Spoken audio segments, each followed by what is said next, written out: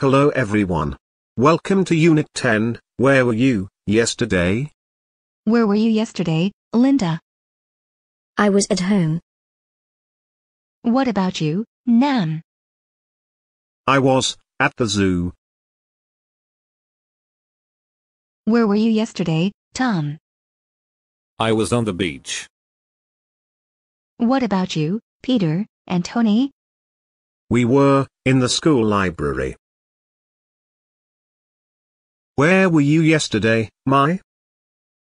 I was at home. What did you do, in the morning? I watered the flowers.